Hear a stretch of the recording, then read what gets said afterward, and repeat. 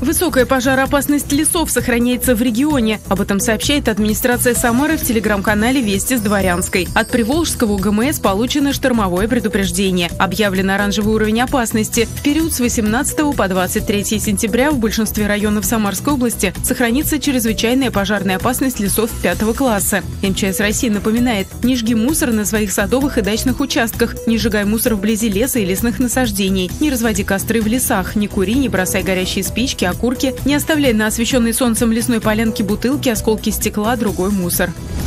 Департамент опеки, попечительства и соцподдержки напоминает, что родителям близнецов двух и более детей, зачисленных в первый класс, предоставляется единовременная выплата. Необходимым условием ее получения является постоянная регистрация одного из родителей детей в Самаре. Для оформления выплаты можно обратиться в любой офис МФЦ или в районный отдел по предоставлению мер социальной поддержки населения. Также оформление выплаты доступно на региональном портале госуслуг. Подробную консультацию можно получить по телефону, указанному на экране.